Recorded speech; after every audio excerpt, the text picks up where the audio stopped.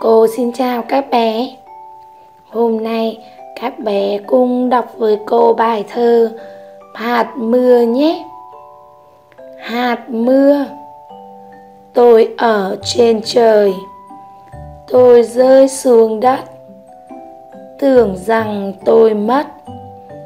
Chẳng hóa tôi không.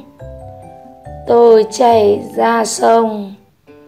Nuôi loài tôm cá qua các làng xã, theo máng, theo mương, cho người trồng trọt, thóc vàng chật cót, cơm trắng đầy nồi. Vậy chớ khinh tôi, hạt mưa, hạt móc.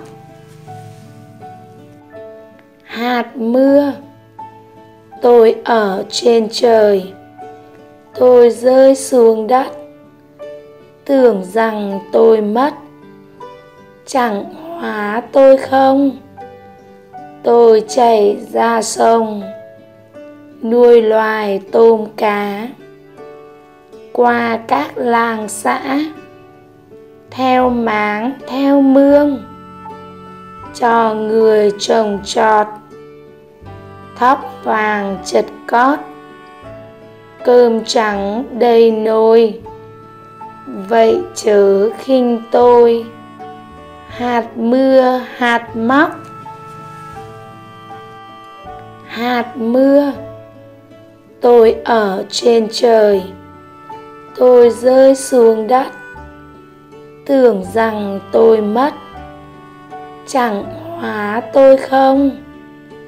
Tôi chảy ra sông nuôi loài tôm cá, qua các làng xã, theo máng, theo mương, cho người trồng trọt, thóc vàng chật cót, cơm trắng đầy nồi.